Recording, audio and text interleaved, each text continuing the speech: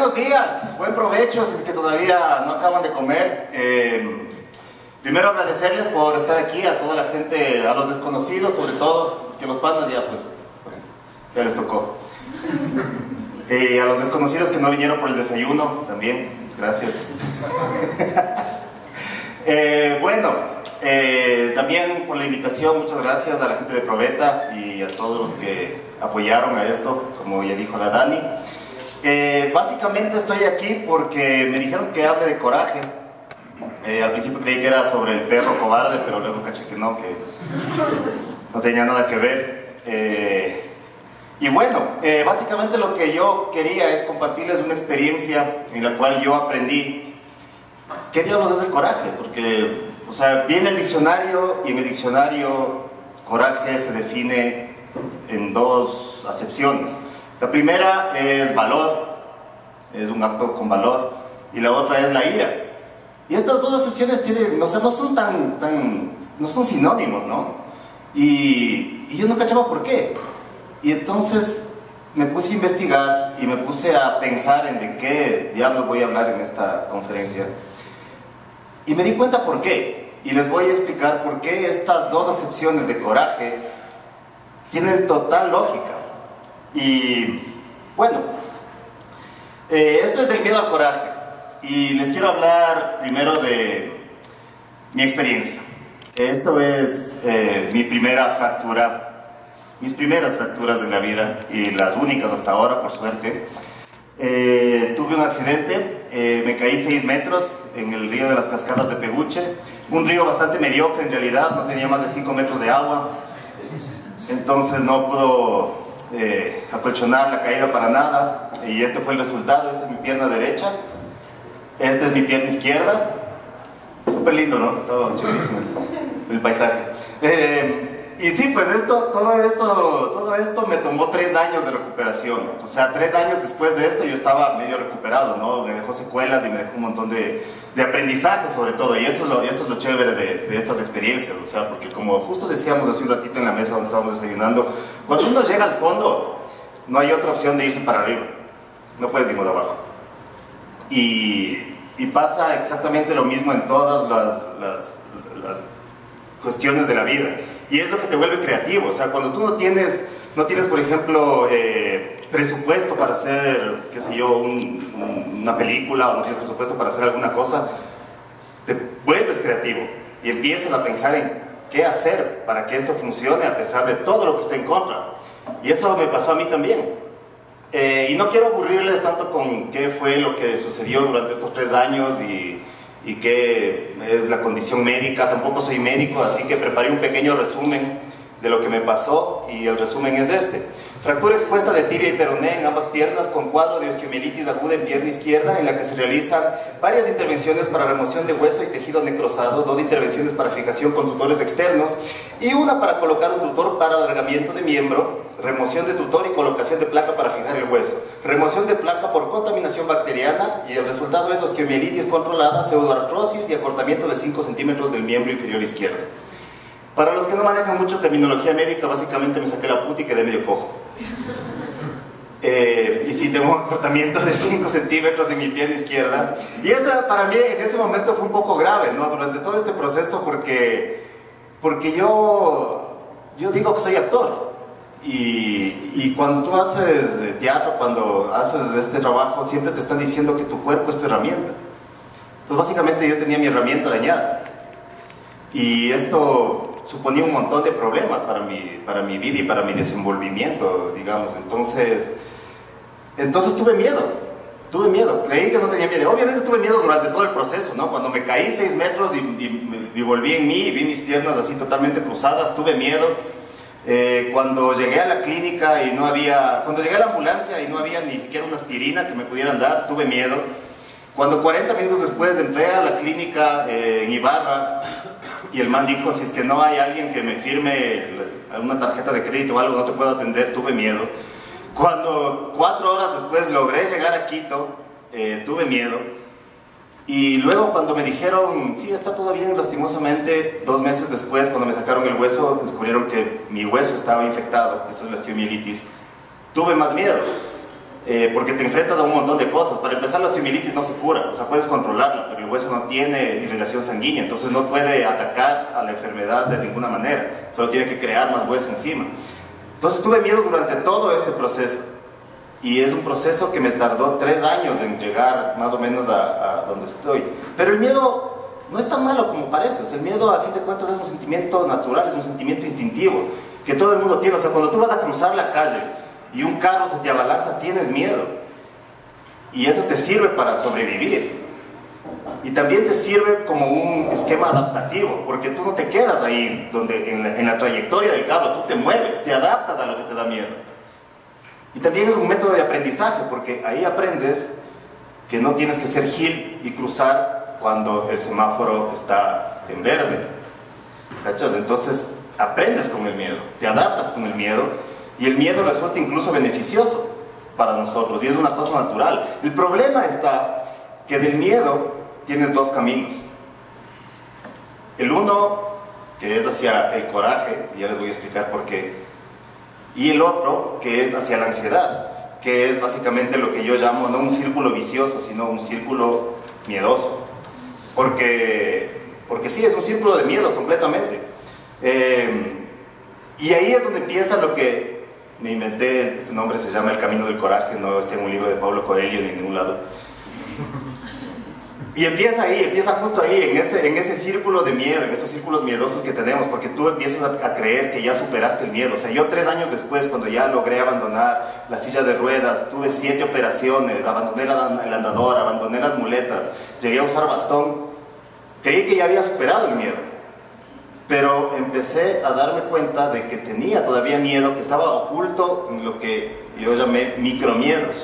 Son esas pequeñas cositas que tú crees que, no es miedo, pero en realidad es parte de este miedo general. O sea, yo ya no tenía miedo al dolor, ya no tenía miedo, no tenía un poco de miedo al dolor porque me dolía, pero ya no tenía miedo de, digamos, de que, de que me corten la pierna o de perder un miembro o de que se expanda más la infección, ya no tenía miedo de esas cosas.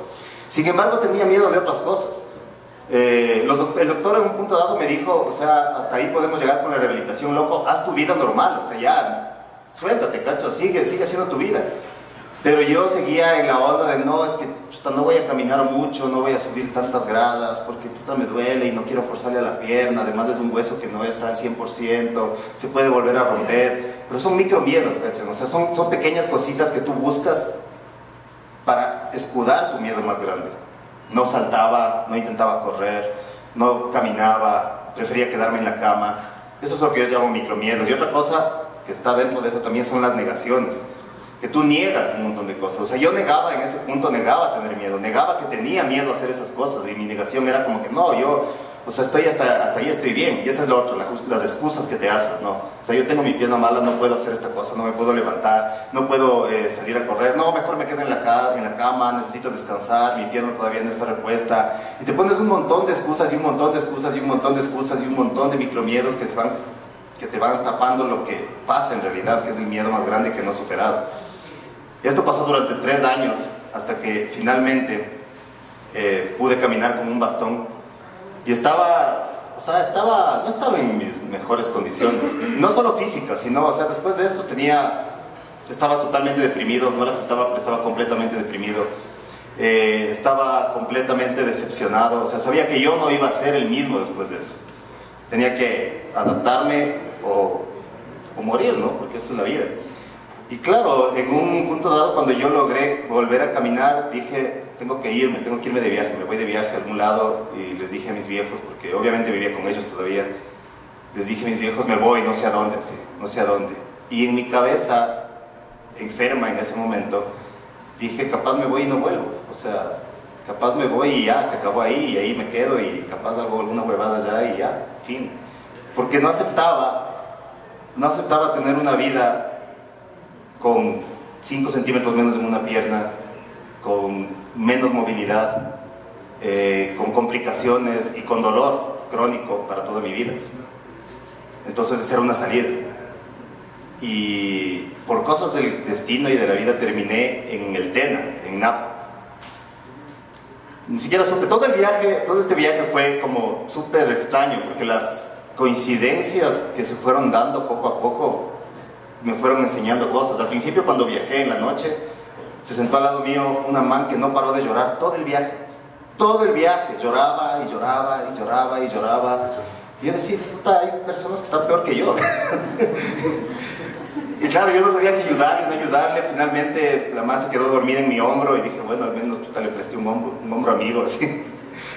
La más se bajó cuando yo me dormí, llegué al Tena, me puse en un hotel, no me gustó, me cambié a otro hotel, me quedé ahí hasta las 5 o 6 de la tarde, medio como que viendo qué hago, ¿no? ¿Qué mismo voy a hacer? O sea, ¿qué mismo va a ser este viaje? ¿Para qué va a ser? ¿Voy a volver? ¿No voy a volver? Ya me mato, verga, qué chu. Y en un punto dado, a las 6 de la tarde se va la luz en todo, en todo el Tena. Y salgo con hambre. Y veo al fondo de la calle un local de tablitas con unas velas prendidas y entonces dentro, ¿no? Y pido mi comida, me pasan la comida y todo. Y mientras comía, me acuerdo que mi mamá, cuando antes, cuando estaba a punto de salir, me dice, ¿y a dónde te vas a ir? Le digo, voy aquí al Napo, es súper cerca, son cuatro horas. Y dice, ah, te vas a ver un chamán, ¿no? Y yo, nunca se me había cruzado por la cabeza, ¿cachan? Pero, pero las mamás ya saben. entonces, el rato que yo estaba pegándome mi tablita, así digo, chucha, ¿y qué tal si es que me voy a ver un chamán? O sea, ¿ya qué tengo que perder?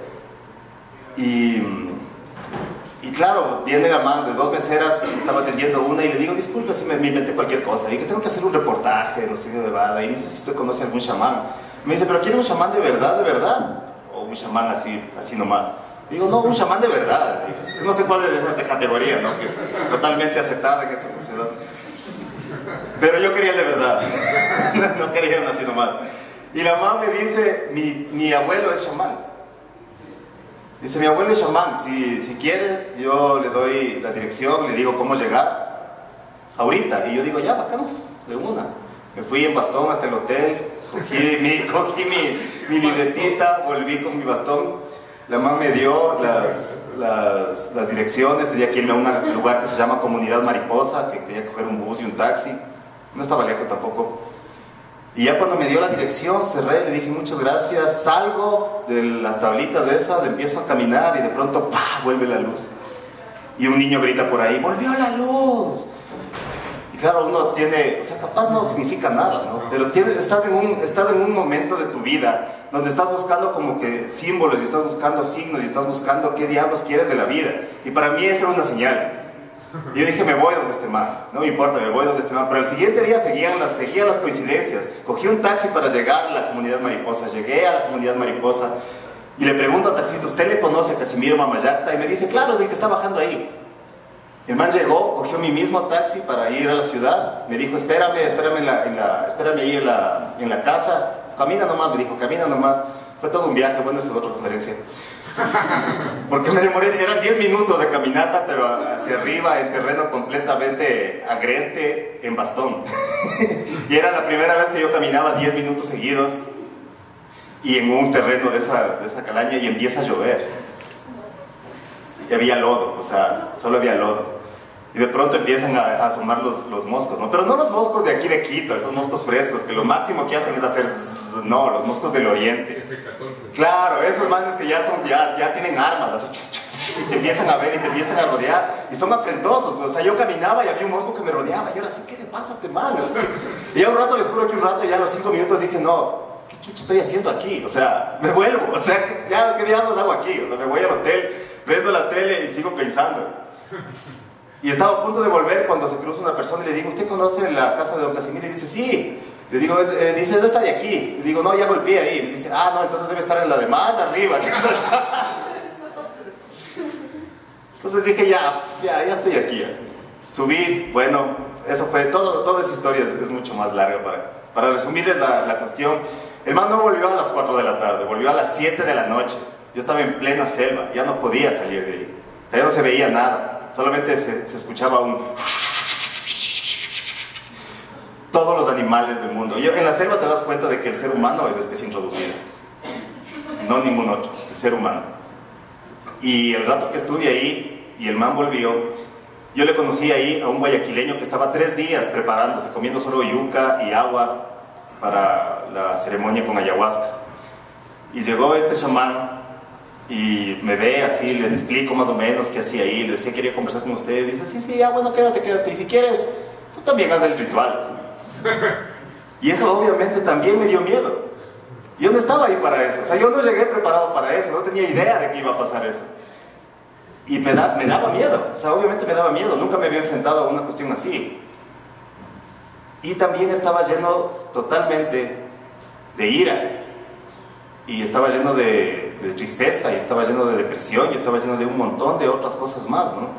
Y ahí fue cuando me di cuenta de eso que les cuento ahora, de por qué el coraje significa ira y también significa valentía. Porque de toda esta ira contenida que yo tenía y de toda esta, esta tristeza y de todas las cosas que me habían pasado, tenía dos caminos. Era aprovechar todo ese impulso que me daba o dejarlo ser. Y de toda esta ira, sí saqué básicamente la fuerza para decir, sí, qué chucha, ¿por qué no? ¿Qué tengo que perder? Es lo que decía, ya estaba en el fondo, o sea, ¿qué tenía que perder? Y entonces hice el ritual y al siguiente día, obviamente, no era otra persona, era la misma persona, pero que veía mi condición de otra manera. Eh, con esto no les estoy diciendo, por si acaso, que si es que tienen miedo, tomen ayahuasca. Tampoco les estoy diciendo lo contrario, por si acaso.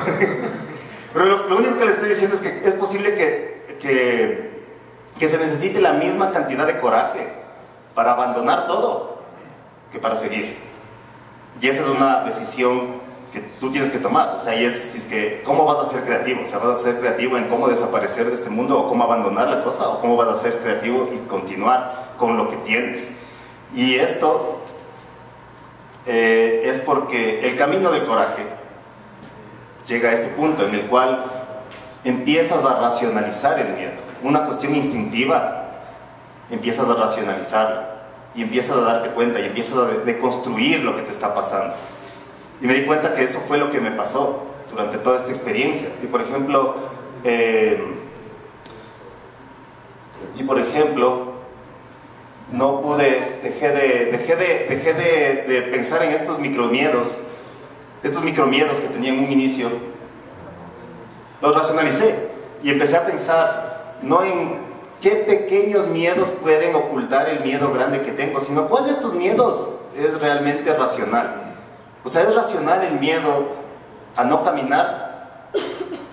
Cuando el doctor me dijo, loco, haz tu vida normal, no era racional. De hecho, me estaba haciendo daño a mí mismo, porque ahora que he vuelto a hacer teatro, que hago todos los días calentamiento de 10, 15 minutos antes de empezar el ensayo y todas las cosas, mis piernas se sienten mucho mejor, mis tobillos ya no me duelen como antes. Lo que me faltaba era caminar, lo que me faltaba era moverme, lo que me faltaba era eso, actividad. Entonces ese micromiedo era totalmente irracional.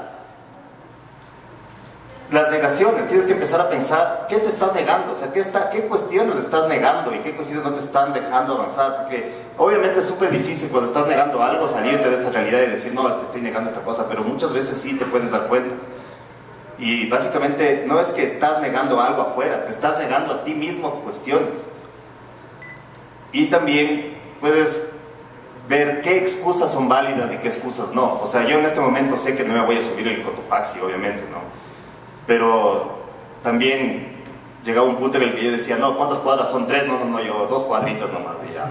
No, o sea, yo puedo caminar muchísimo más, o sea, sea, sea con dolor o sea sin dolor y que me vaya a costar o no me vaya a costar, da igual. O sea, de todas formas yo podía hacer eso. Y eso es justamente lo que descubrí en este camino del coraje, que obviamente mi mente Pero esta racionalización del miedo te ayuda a descubrir cosas y esa es la cosa que te da básicamente el aprendizaje y al final te hace descubrir qué hay detrás de tu miedo y cómo puedes evolucionar a partir de eso. Para resumirles todo, esta, todo este camino, me voy a apropiar de, de una frase de Star Wars. no sé si han visto Star Wars. Si le cachan a Yoda un man verde, así como yo, más o menos de mi estatura, pero con más orejas. Bueno, el tiene una frase, ¿no? una clásica frase que dice que el miedo lleva a la ira, la ira lleva al odio, el odio lleva al sufrimiento y el sufrimiento lleva al lado oscuro. que dentro del eh, universo de Star Wars tiene full sentido. Para mi vida, en cambio, eso es lo que dice Yoda, ¿no? Eh, para mi vida, en cambio, tiene sentido otra cosa, después de toda esta experiencia que les cuento, después de haberme enfrentado con un miedo real, con un miedo instintivo en un momento, irracional en otro momento, y luego ya completamente superado, o mejor dicho, aprendido. Esto es lo que dice Yoda. Lo que yo digo, en cambio, eh, y como resumo el camino del coraje, es que el miedo lleva a la ira, la ira lleva al coraje, y el coraje lleva a la valentía, y la valentía te lleva a la acción. Y por eso es que coraje tiene dos acepciones que podrían parecer completamente alejadas, pero sin embargo forman parte de la misma cosa. Cuando uno tiene coraje es una mezcla entre valentía, pero también de ira. Es como cuando sientes que tienes que salir a protestar a las calles. Es valentía, pero también es ira. Es como cuando sientes que tienes que protestar porque no te están tratando justamente en un trabajo. Es ira, pero también es valentía. Es como cuando decides terminar una relación que te está haciendo pedazos. Es ira, pero también es valentía. Y eso, y todo eso, y todo ese coraje te lleva a la acción, y te lleva a hacer algo, y te lleva a ser creativo, y te lleva a crear una solución para el miedo que tenías antes. Y en mi caso, pues me llevó a, a dedicarme al striptease. Eh, obviamente yo soy el de la derecha, no mentir.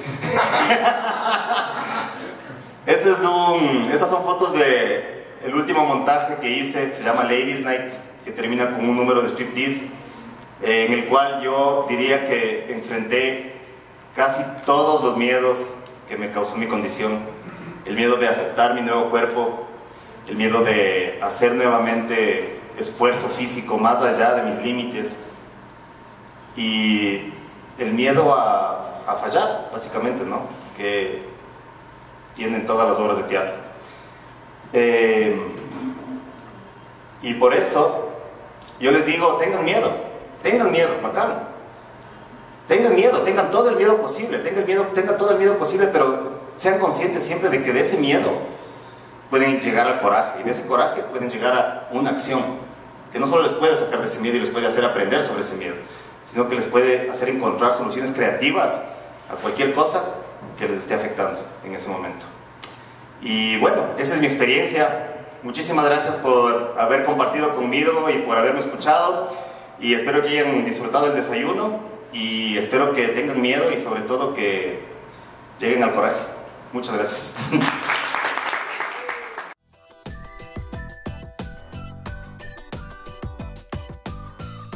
Yo creo que fue, fue justo este viaje, o sea, fue, el primero fue justo cuando subía hasta la casa de don Casimiro, era como un camino de lodo, un camino completamente resbaloso y todo, y era como,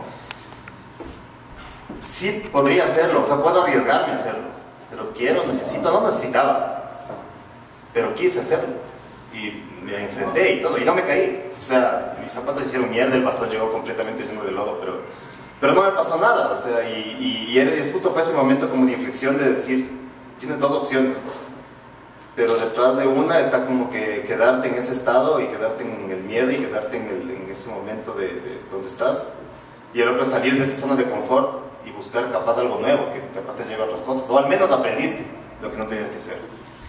Fue eso y también decir, sí, bacán, me tomo la ayahuasca. ¿Por qué no? y sí, es como soltar, ¿no? Es como soltar toda esa cosa. Y sí, sueltas y ya un rato dado sientes que ya no es tu responsabilidad, porque ya pasaste de ese, de ese, límite que te estabas imponiendo tú mismo.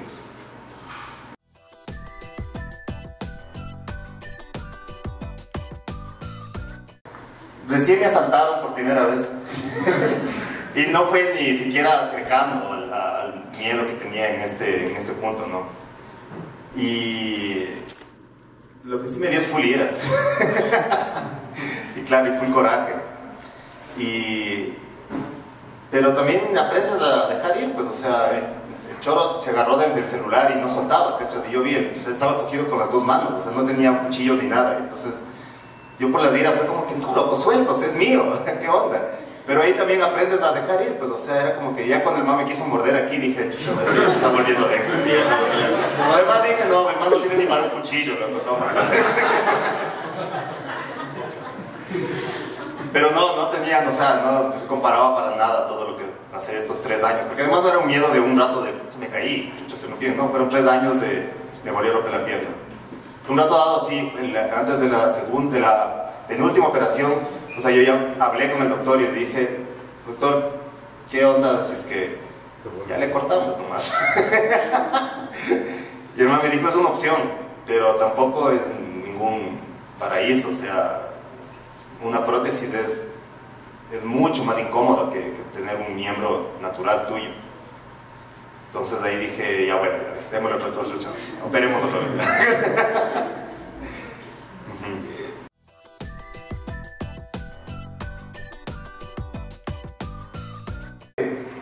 O sea, creo que es una, una, cuestión de aprendizaje, ¿no? He aprendido un montón de cosas. O sea, yo creo que de hecho en el punto en el que estaba yo en ese momento cuando me pasó el accidente, yo creo que no hubiera estado donde estoy ahorita. O sea, tenía una oficina donde que hacía video y edición y cosas así. Ganaba para las bielas y para pagar el arriendo. Vivía con mis viejos. Estaba totalmente cómodo. Pero tres años después, yo estaba convencido de que si es que salía de eso, yo tenía que salir de la casa de mis viejos, tenía que empezar a trabajar, ya estaba trabajando incluso antes. Y creo que el beneficio fue ese, o sea, fue que te hace decir, como dice, como dice el dicho, o sea, no, te haces más fuerte. Aunque sea desde una silla de ruedas, aunque sea desde las muletas o lo que sea, o sea, te haces más fuerte. O sea, y es, es una cuestión de que si logras enfrentar el miedo, dependiendo de cuál sea, y logras salir vivo, vas a salir más fuerte, vas a salir más fuerte y vas a salir aprendiendo. Incluso si fallas, incluso si enfrentas el miedo y no fue el camino, aprendiste algo.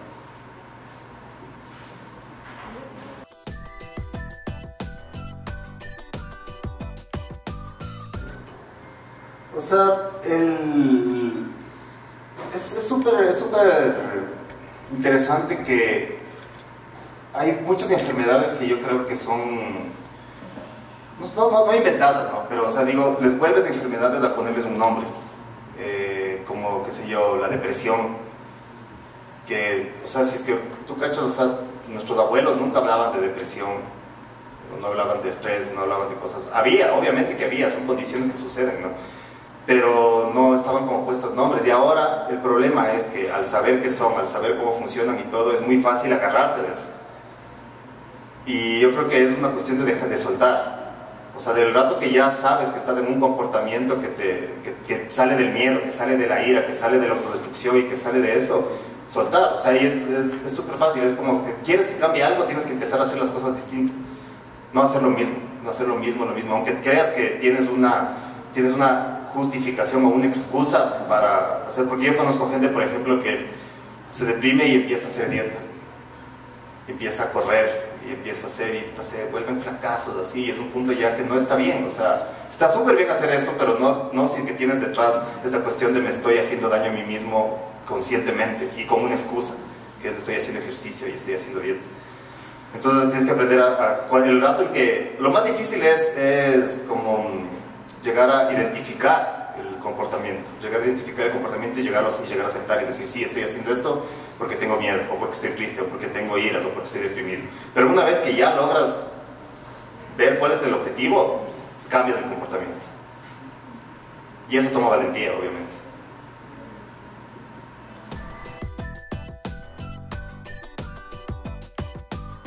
Bueno, en mi caso era una cuestión ya de, de sobrevivencia, por un lado.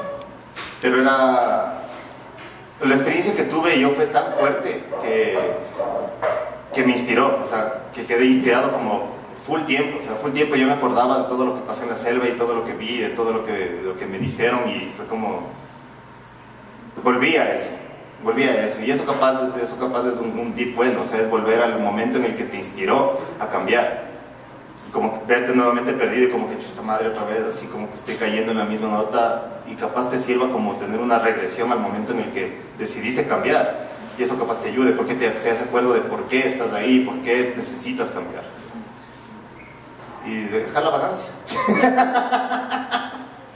Eso sí cuesta full, o sea, a mí me cuesta full. O sea, de hecho, se tomó full coraje para que yo llegue acá a las 8 de la mañana.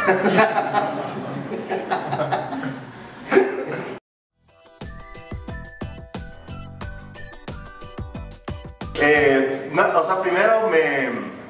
Para mí fue un shock porque yo no, o sea, yo no me esperaba, yo seguía haciendo videos y cuestiones y, en video y en, en cine es súper fácil, o sea, casi nunca te están enfocando los pies, ¿no?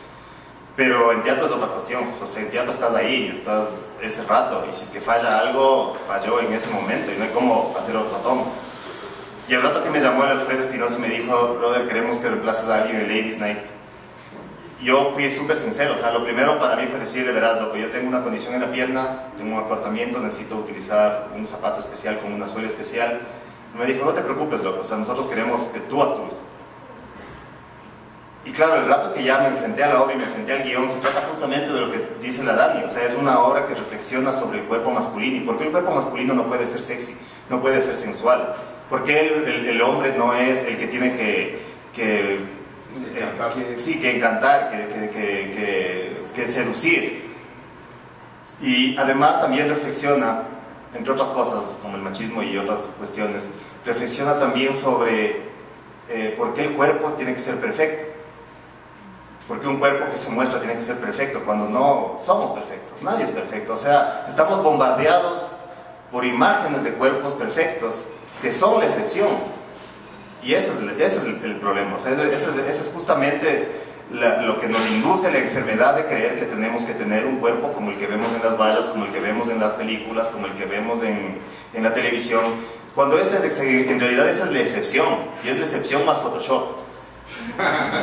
O sea, una cuestión que nosotros nunca vamos a alcanzar, que ni siquiera es real, porque además es una cuestión así que está quieta o que fue grabada en cierto momento con cierta luz, con, cierto, con cierta técnica, y esos no somos nosotros. Entonces, esta obra también reflexiona sobre eso, reflexiona sobre un grupo de cinco hombres totalmente dispares, totalmente imperfectos, que por necesidad deciden hacer striptease y que descubren en el camino de mostrarse a sí mismos, no solamente físicamente, sino también emocionalmente lo que tienen adentro.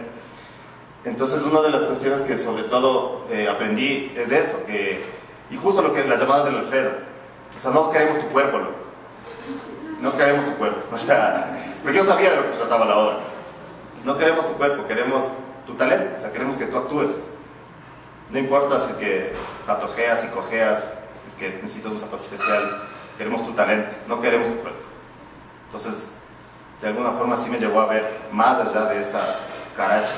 Es súper raro porque encima no nos vemos, o sea, estamos tan, estamos tan limitados por cómo nos vemos, por cómo somos, por los defectos que tenemos, pero es algo que nunca vemos, o sea, yo no me imagino cómo sería la vida antes del espejo, si teníamos estas mismas preocupaciones, porque ahora las tenemos, o sea, sabemos, tengo la nariz grande, soy chiquito, eh, qué sé yo, pero ¿qué pasaba antes cuando no había espejos? Que es, o sea, en realidad es una mejora porque ya nos podemos peinar y qué sé yo. Pero antes de eso debe haber habido una vida antes de eso, donde no nos preocupaba cómo nos veíamos, donde los demás nos veían y punto, o sea, ya, eso es lo, eso es lo que hay, o sea, y yo soy por cómo soy, no por cómo me veo. Entonces fue un poco por ahí el aprendizaje con Ladies Y bueno, muchas gracias.